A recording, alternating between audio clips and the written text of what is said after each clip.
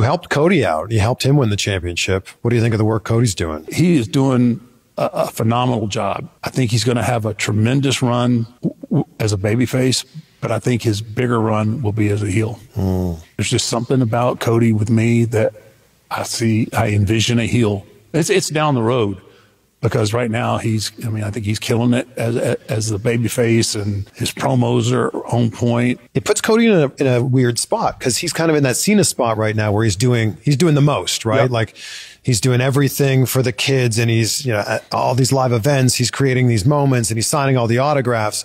If he turns heel, who's that guy? Because it can't be Cody. Yeah. yeah.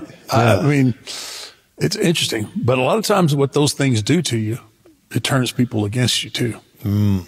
Yeah. You be, if you, if you're, if you try to be too goody goody, Yeah. it's a kiss of death, man. People keep comparing him to Homelander.